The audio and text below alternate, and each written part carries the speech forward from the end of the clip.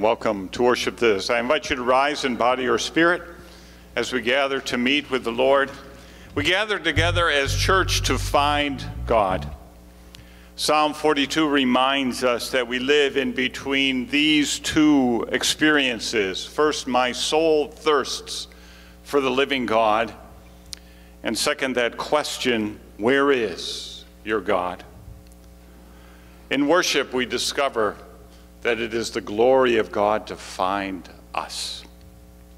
The blood of Jesus reveals that we are saved by grace alone, and we are united in Christ's death and resurrection and transformed for life with the triune God. God's word gathers us in this assurance, sisters and brothers. You will seek me and you will find me when you seek me with all your heart. You are invited now to turn to one another and say, The peace of the Lord be with you.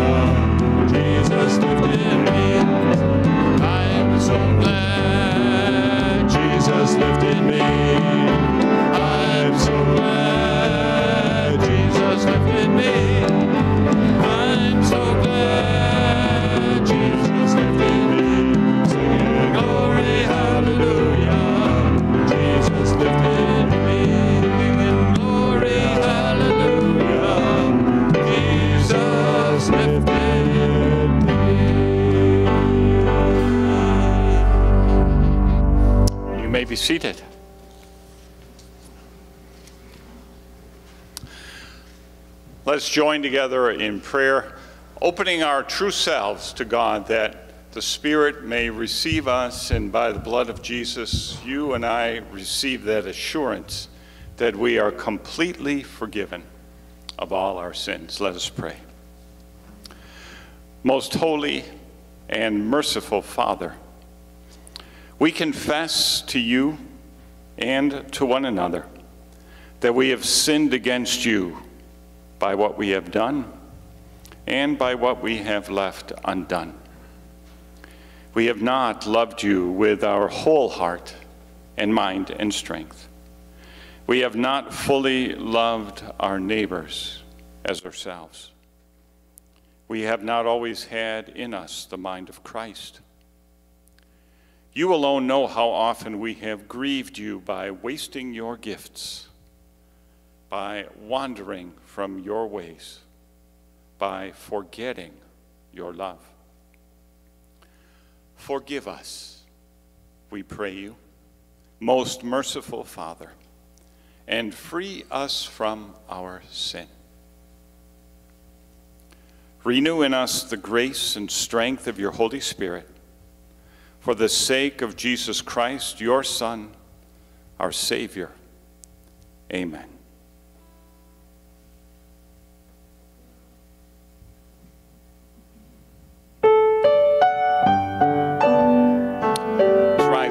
Or spirit to sing. There's a wideness in God's mercy, like the wideness of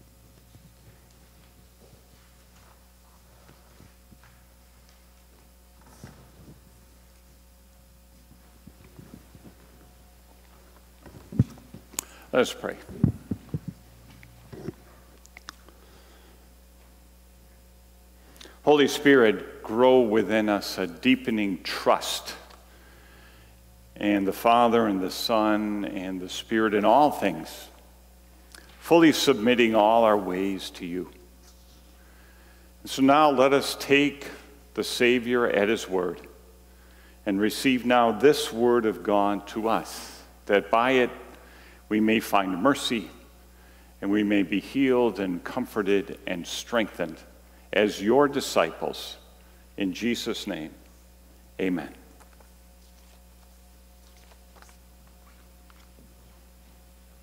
The fourth act of faith in the discipline of lament is to place your trust in the triune God. We have said from the start that lament is about more than being really sad. Today we say lament is not to be forever. When we have turned to God in our sorrow and loss, then brought our heartfelt complaints to the loving and kind Heavenly Father, and then boldly ask the deepest desires Jesus placed in our heart, we are ready to choose to trust in the Lord for our well being.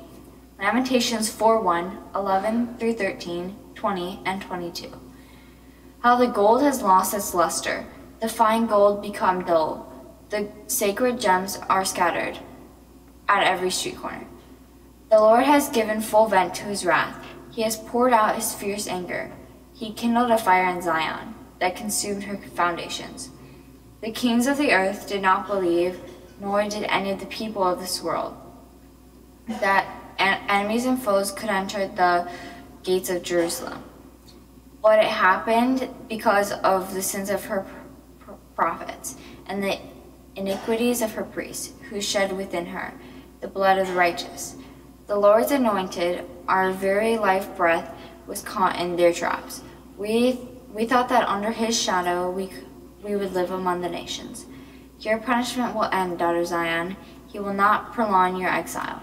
He will punish your sin, daughter Edom, and expose your wickedness. wickedness. This is the word of the Lord. Thanks be to God. There are two places in the New Testament where Jesus is revealed as trusting the Heavenly Father. Both times, the Bible says Jesus trusted the Father during his crucifixion.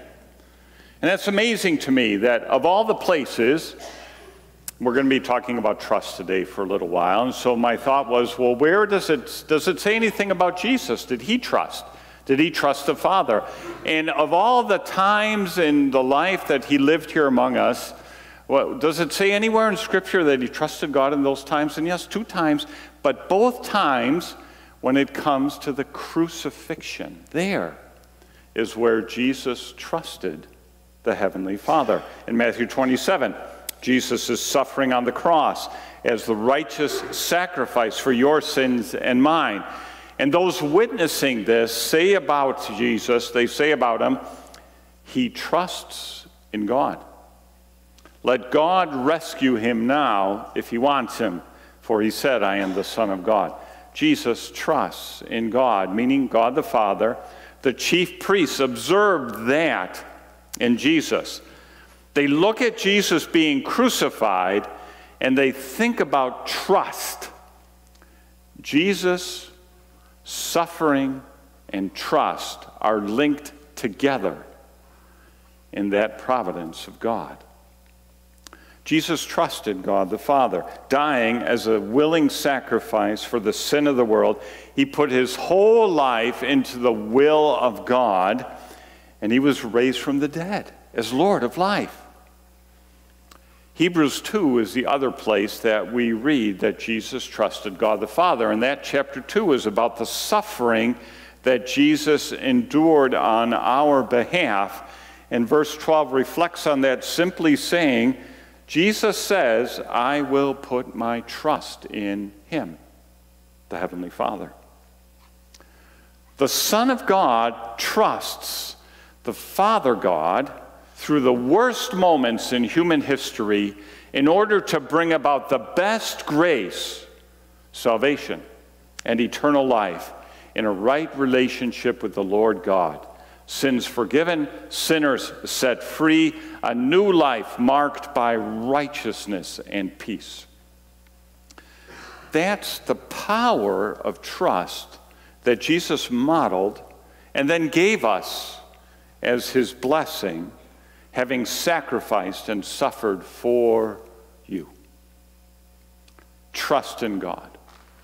When we trust our lives to God, there is a power to face the worst. There comes a freedom to bring God's good and best into our situations. And we're graced with this new life to overcome our old broken ways in the middle of this broken time in which we live. The Bible shows us that Jesus was the most perfect example of trusting God. And that trust was most evident in the worst moments of the human life he carried for us, the crucifixion. And from Jesus, we learn what trust is counting on God so much he will obey and complete God's will. He is assured that God's will will be done, even in the worst. And then Jesus leaves the result to the Father. So our trust in God strives to obey and then leave the results to God, to look for goodness even where God's good is hard to see. Trusting in God is the fourth faith response in the discipline of lament. When we first started reflecting on the discipline of lament, we said lament is more than just being really sad or in great grief. We said lament helps us do something with our grief. Lament is how we bring our sorrow to the Heavenly Father. In the exercise of this spiritual discipline, God's active, gracious, healing presence is revealed to us. Jesus comes to you as the one who died for you. And deep down, this is what we not only want, it is what we are finally made for.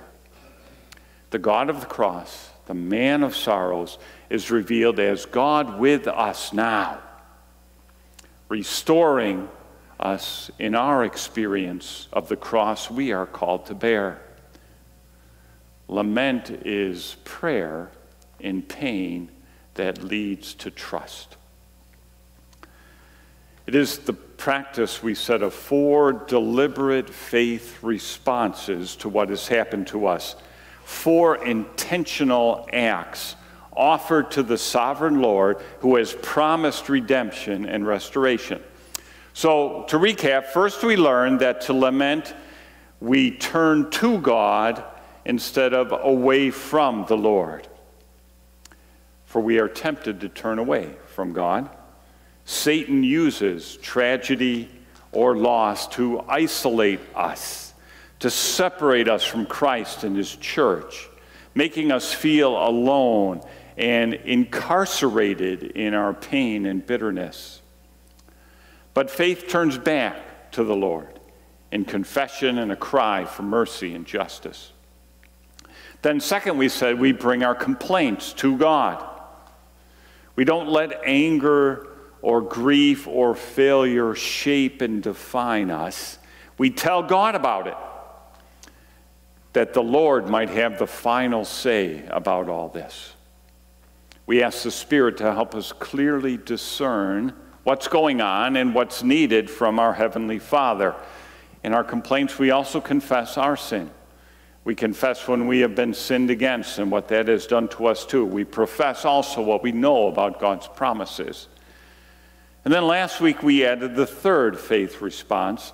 After we turn to God, after we voice our complaints to God, third, we don't stay in our complaints, but we make our humble and bold requests to our Heavenly Father. We leave our sorrow with Jesus, who suffered all for us. And now we ask, confident of God's grace and character, our most heartfelt requests of the Lord, who delivers us through our sorrow and sacrifice. So, how's that been going for you? Have you been trying that out? Have you been practicing, trying this discipline of lament a little bit in your life? If you have, you know it, it is a discipline, it's something we have to learn. We, we kind of stumble at it. It takes intention and practice. When we first choose to lament, we're going to struggle with it. And even as we begin to lament, we're going to doubt that it's really doing anything or helping us. So along the way, you may resist. After all, we are a bit scared of tears and sorrow. We try to move past suffering as quickly as we can. Uh, sometimes we'd rather be angry or bitter. Most of the time, we'd rather just be happy. And true, Good Friday does give way to Easter Sunday and resurrection. Joy does come in the morning, but there are nights of weeping. And the discipline of lament is that practice not only for us in our grief, but a way for us to exercise compassion and be able to take upon ourselves the grief of others who suffer so. I know church is a place of joy in the Lord, but also a merciful place where mourning is shared. So now we're up to Lamentations 4, and it continues reflecting on deep sadness and grief. And we have to wait till all the way to the end to get just a little sliver of a reason to trust again. Verse 22 Your punishment will end, daughter Zion. He will not prolong your exile. That's all we get. We get verses and verses of continued sorrow. I mean, there was hope in chapter 3, right? God's mercies are new every morning. Great is your faithfulness. We're ready for relief and deliverance. But chapter 4 comes right back into suffering and loss, right back where things stand right now. So remember last time we said that, that in our faith, in this response of humbly and boldly bringing our requests to God, sometimes we have to wait. And chapter 4 reminds us that we have to wait a little longer. But like Jesus trusting his suffering to the Father, so we trust in the middle of our worst. This is where lament finally takes us. It takes all the way until the last few lines to be told the good news that exile will come to an end. This we can trust. But trust must be lived out in sorrow. We trust the Lord's future restoration, but we live out that trust in our present grief, sorrow, loss, and even the sorrow of our own sin. Striving to trust the Heavenly Father is the fourth faith act in the practice, the discipline of lament. We say, Yes, the Lord's will is done on earth as it is in heaven. The Father has our best in mind and heart and prepares us for eternal restoration while nothing separates us from His love. The Lord alone saves us and keeps sin from taking over and taking charge of our lives and our identities and our actions. So, what does it mean to trust? To trust God, the Father, Son, and Holy Spirit. Well, according to this chapter, first it means to expose the idols in which we have misplaced our trust. Lamentations chapter 4 reflects again on what happened to Jerusalem and her people leading up to that evil day the city finally fell when the people were massacred and taken as slaves into exile. Their fall exposed what they had been relying on. All that they thought made their lives good and kept them safe and protected them from harm and verse 1 starts a listing of the gifts of God that had become their idols, had become the things that they had set their lives on, the things that gave meaning to their lives, and in which they put their energies and hopes, and the things in which they misplaced their trust. Verse 1 How the gold has lost its luster, the fine gold become dull the sacred gems are scattered at every street corner.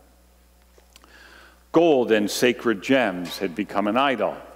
They stand for wealth and riches. It had become their security. But look where that led them. And what good are they now? Then Lamentations carries on, and after some verses, verse 11, it says, The Lord has given full vent to his wrath. He has poured out his fierce anger. He kindled a fire in Zion that consumed her foundations. Foundations are those things on which we base our decisions and choices.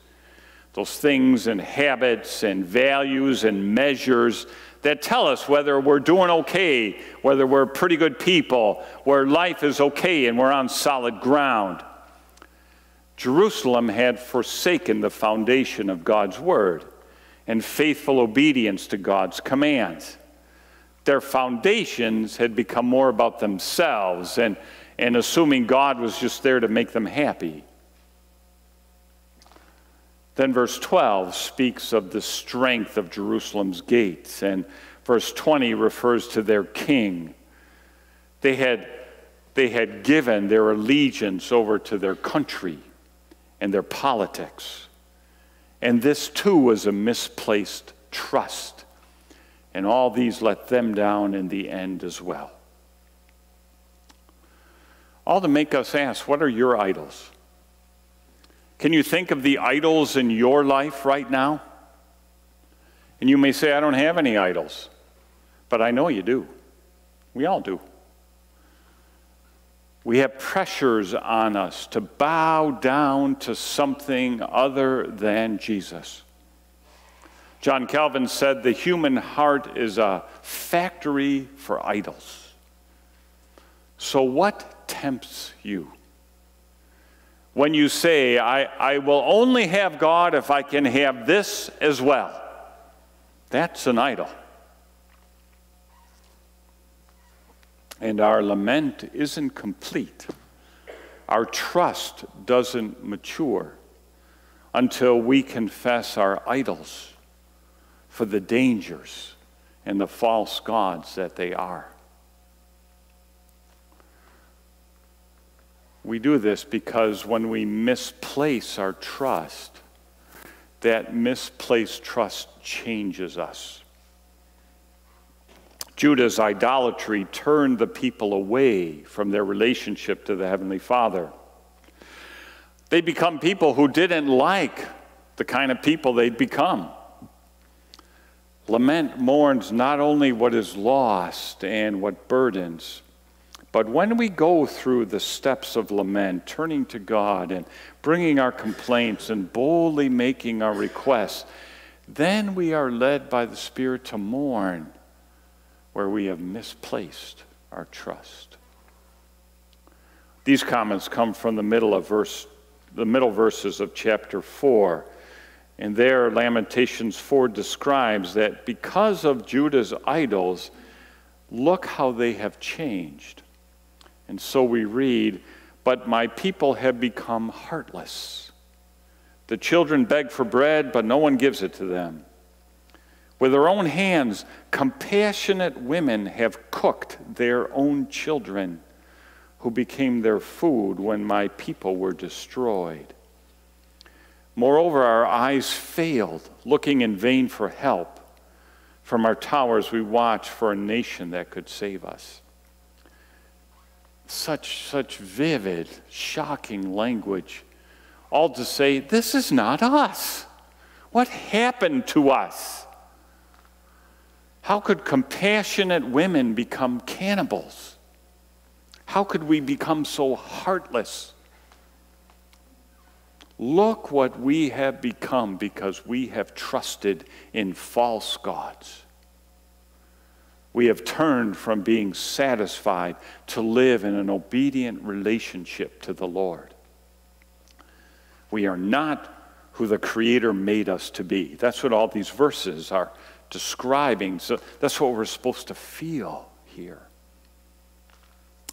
So when we strive to trust the Lord again, we pause to reflect deeply on what we have become away from Jesus.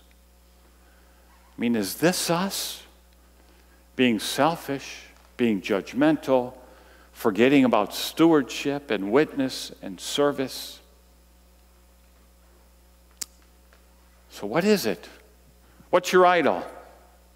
And how has that misshaped your heart? That's the first step of trust, of, of, of mourning this. Lament then helps us journey from misplaced trust to rebuild our trust in the only one who is worthy of it, the only one who gave his life for ours. And we begin to open our clenched fists and empty our clutching hands. We place confidence in the way of Christ and his promise to be with us to the very end and reward those who persevere. So now we can take steps, steps of faith away from the cause of our great grief to look for and desire the sovereign activity of God, which is happening all around us, but many times we are too dull to see. To live through what Jesus has accomplished. Trust gives us a strength to say, it may be a hard day, but it's a good day when I can take up my cross and follow. It may be a hard thing, but it is a good thing when I can show mercy and grant forgiveness. It may be an unknown thing, but trust is when I look for that new life that God is giving and making in me. And letting go of that old life that I'm just hanging on to, defining my life by what the culture makes me define life as. Robert Capon celebrates. He says, If he, if Jesus, has already done it all for me already, why shouldn't I live trusting him? If he has already reconciled my wayward self, why shouldn't I at least try to act as if I trust him to have done just that? And to let his reconciliation govern my actions and my relationships and doings. So once trust calls out the idols in our lives, then we are free to practice our trust in the Lord. Remember those verses from Proverbs 3 Trust in the Lord with all your heart, and lean not on your own understanding. In all your ways submit to him, and he will make your paths straight. These verses remind us that faith is not first a set of beliefs, but a, a, a practice, a set of practices, things we do. Practices found in obeying God's word and his commands of love. Trust is that living relationship where God is God and we are not. God is God on God's terms, not ours. And that union with God leads to practices that witness, that long for, that live in the kingdom of God, relying on His sovereign work, trusting His providential ways, committing our work and our stresses and our sacrifices to Him because He has our back. It's like the old hymn trust and obey. Those two things go together and mean pretty much the same thing. Trust and obey, then leave those results to God. It is the Lord's creation, after all, is it not? It is Christ's church, after all, is it not? And we are his handiwork, after all, are we not? I read somewhere trust is practiced when we stop trying to protect, to rescue, to judge, and to manage the lives around us. Your children's lives, the lives of your spouses, your friends' lives, because that is just what you are powerless to do. Remember that the lives of other people are not your business first, they are God's business because they belong to God, whether they use the word God or not. Even your own life is not your business, it is God's business. Leave it to God. That's an astonishing thought, but it's a life transforming truth. Our deliverance is Jesus but not the idea of Jesus, not the concept of Christianity, but the person, the living, risen Lord, a living relationship with Jesus. That's our deliverance. But when was the last time you made a decision simply based on the fact that God said so, that Jesus said so, that the Lord commanded it? And so I obeyed. Simple as that. Trust takes Jesus at his word. Prayer is also trust.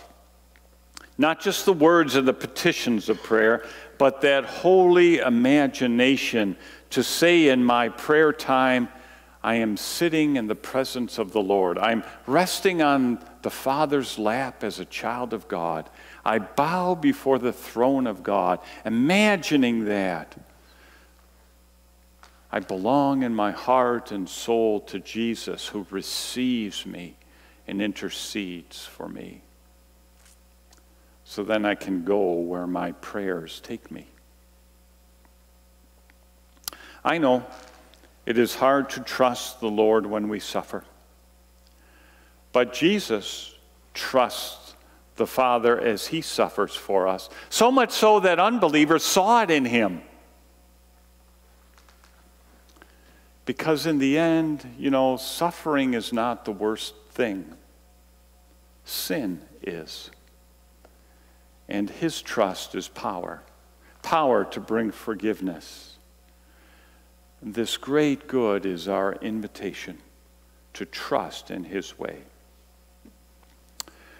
Frederick Buechner blesses us in our trusting the Lord when he says, Not at every moment of our lives, but at certain rare moments of greenness and stillness, we are shepherded by the knowledge that though all is far from right, all is right deep down. All will be right at last. I suspect that is at least part of what He leadeth me in paths of righteousness is all about. It means righteousness not just in the sense of doing right, but in the sense of being right. Being right with God, trusting the deep down rightness of the life God has created for us and in us. I suspect that the paths of righteousness He leads us in are more than anything else the paths of trust and the kind of life that grows out of that trust. I think that is the shelter he calls us to with nail pierced hands. And when the wind blows bitter and the shadows are dark. Amen.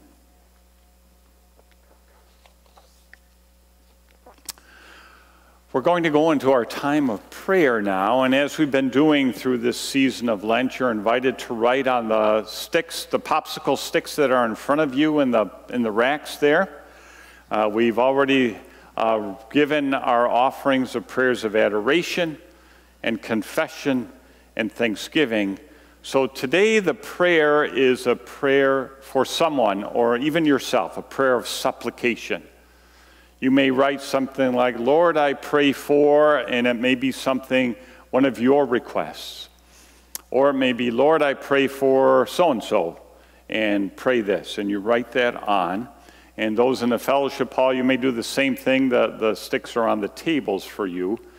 And then when, when we are done with that, um, we'll have the team is going to sing a couple songs, so you'll have time to process, proceed up and put your offering, your prayers of supplication in the baskets up front there or in the fellowship hall in the uh, um, uh, bowls that are by the fireplace uh, in the fellowship hall. So, what I'm going to do, I'm going to pray. Uh, start with a short prayer, and I invite the worship team up now. And then we're going to start singing. The first song is an unfamiliar one, but that's your time to reflect and offer your own silent prayers and then write on your popsicle stick. And then when you're ready, you can come up. We'll have a second song, and then you may uh, uh, offer your prayers into the basket and then proceed back to your um, seats. Okay? So let me begin our prayer to get us to think about our prayer, our requests, our supplications to the Lord. And then we'll, we'll lead as a team in this prayerful worship time together. Let's pray. Oh God, empty me of angry judgments and aching disappointments and anxious trying, and breathe into me something like quietness and confidence, that the lion and the lamb in me may lie down together and be led by a trust as straightforward as a little child. Catch my pride and doubt off guard, that at least for a moment I may sense your presence and your caring, and be surprised by a sudden joy rising in me now to sustain me in the coming then. Hear our prayers together, O Lord Jesus Christ, Son of God receive our requests, and have mercy on us. In your name, amen.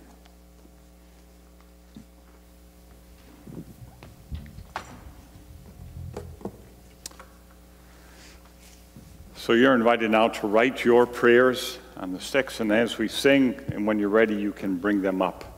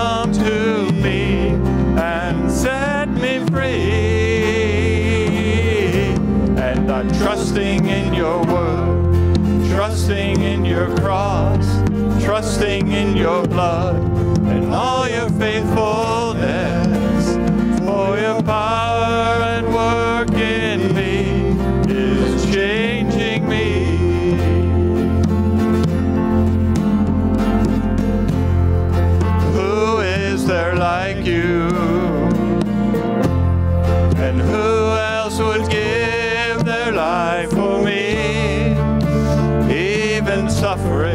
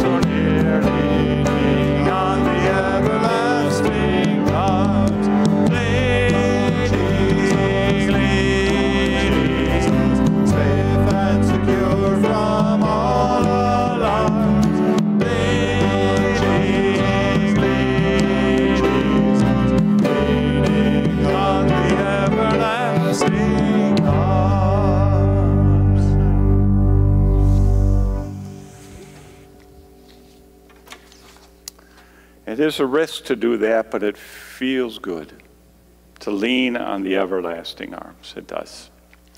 I invite the deacons up now to uh, lead us in our offering prayer, and then during the offering, uh, there'll be a video from the Goes. We, we welcome Jong and, and Masuk and Jessica are here. And then after the offering and the video, they'll speak for a few words about their ministry. And you are invited after into the fellowship hall for some refreshments together uh, to greet them and to bless them, and then also to hear from them of their mission work as well. Today's offering is for missions. Shall we pray? Dear Heavenly Father, thank you for the freedom we have to worship freely in this country, and forgive us for taking it so for granted. I pray that you will be with all of our missionaries and that we will be aware of their needs I ask that they may feel your love and our love for them. Please watch over them and bless them. In Jesus' name, amen.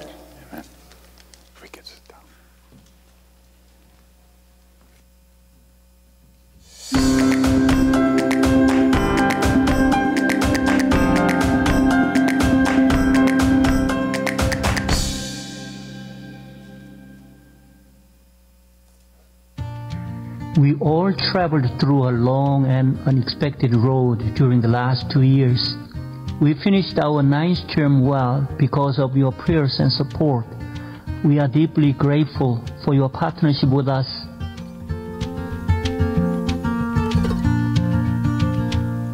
Before the pandemic, we traveled to many places, but suddenly we couldn't travel except to a few nearby churches.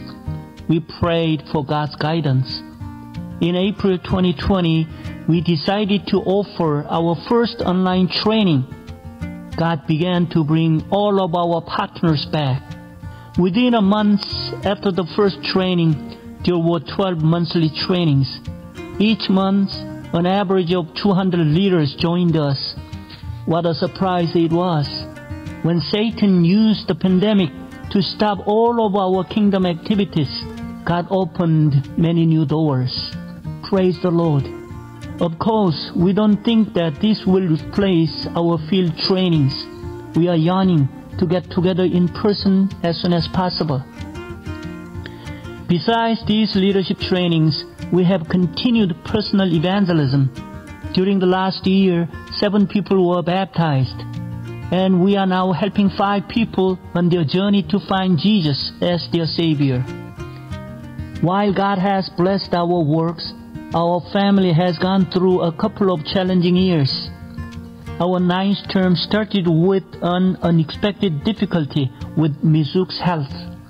We came home for rest over Christmas in 2019. To our great surprise, we found that one of our daughter had a serious mental health issue which needs our continual attention. We experienced an emotional roller coaster dealing with her along with the challenges of the pandemic. In March 2020, Jessica and Julia came to Japan as volunteer missionaries.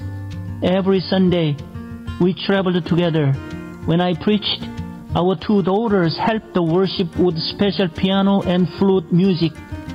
Strangely, the pandemic helped us to stay together, and all of the churches where we visited welcomed our presence and asked us to continue our family ministry at their churches. With these unexpected experiences, we have grown together as God's family more than ever before. Jessica is preparing to go back to Japan with us to continue her mission work among children and young people. And Julia will come to Grand Rapids to start her studies at Calvin Theological Seminary in August. We ask you to pray for our next term continually, focusing on the two goals, evangelism and reconciliation. We want to see more people being saved in Japan and beyond. At the same time, we want to see churches and leaders coming together for the glory of the Lord. Our battle with the evil ones will continue. We know that no matter what, God still reigns. To do this, we need your prayers and support continually. We will work together to bring glory to God. Thank you for your faithful partnership.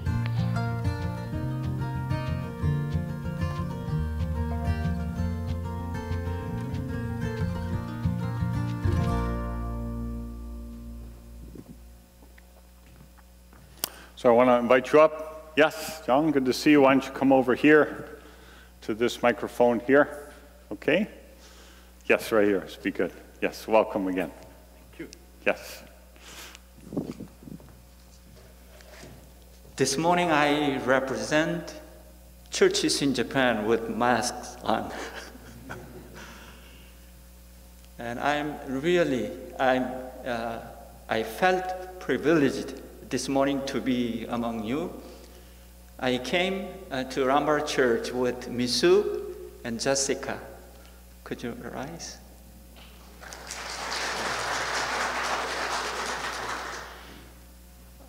Several days ago, uh, Rosemary sent me an email warning me that you're not going to see many families this coming Sunday because of spring break.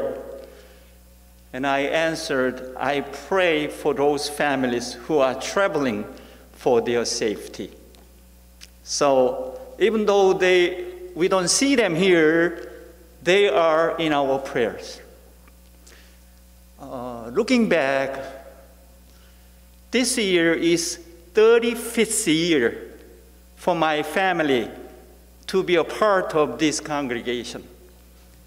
1987, my family, four of us, except Julia, the youngest one, came to this church as a part of summer intern, annual, uh, yearly intern of Calvin Seminary.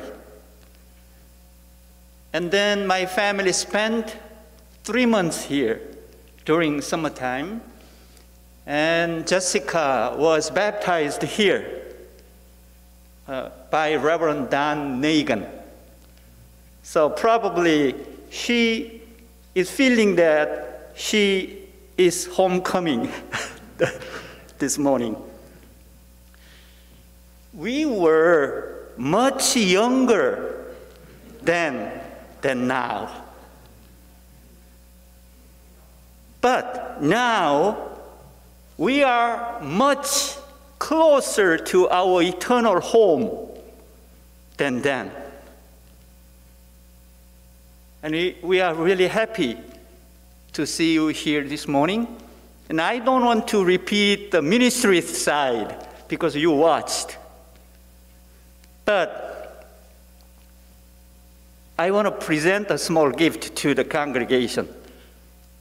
Because of your faithfulness with us Right after my graduation, 87, I had internship here, and 88, I was ordained here.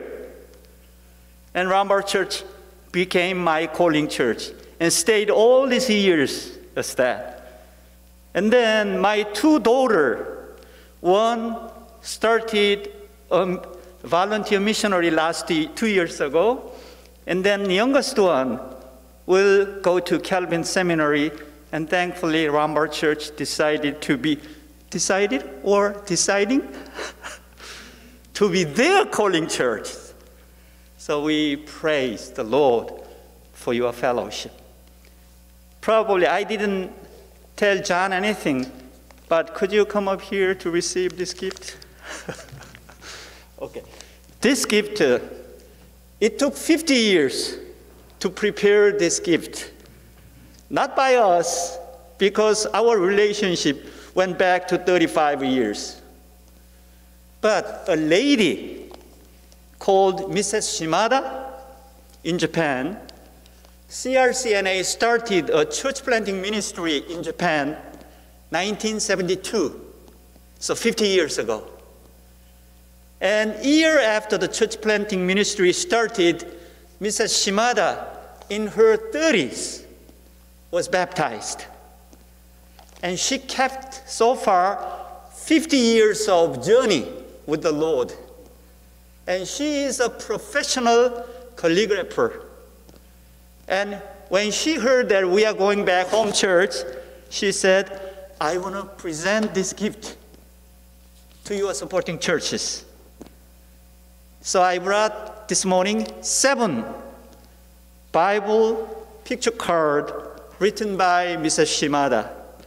So probably you can decorate somewhere, remembering the good things happening in Japan is because of your prayers and support. Thank you. Thank you and blessing. Yep. So we'll uh, put this in the fellowship hall too after, so people can have a look at this too. Thank you. Yes, Thank you. blessing. And we'll see you after. Yes. So team, you want to come up?